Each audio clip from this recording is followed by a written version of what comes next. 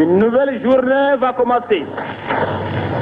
La République du Tchad souveraine n'oubliera pas qu'elle est grande et qu'elle est belle. Elle n'oubliera pas ce qu'elle doit à la France et au général de Gaulle dont le noble message vient d'être lu par M. André Mallo.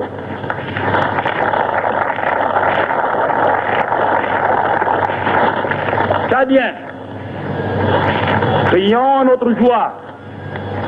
Il est minuit.